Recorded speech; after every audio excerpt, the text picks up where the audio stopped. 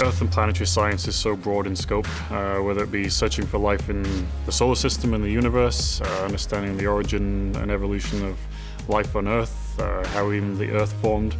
And uh, planetary science in particular is one of those fields where, I mean, you can turn on the TV each day and there's something new and exciting. We're finding uh, more and more evidence that uh, Mars is more Earth-like than we ever believed. There's water on the moon. Uh, the kind of oldest rocks on Earth They're way older than we expected, and uh, there were oceans on Earth kind of 4.4 billion years ago. In order to understand our own planet, and how we got here and what our future is, you really have to put Earth in the context of the solar system. So one of the big drivers um, that I look for is uh, kind of what, how did life originate on Earth? One of the other big things that I do, and especially with partnering with companies like MDA, is really trying to bring space technologies back to Earth.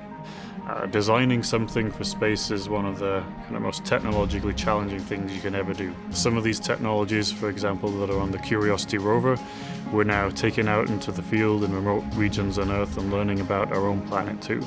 And so that translation of knowledge from space to Earth is something that I firmly believe in and is something that I uh, try to incorporate into my research.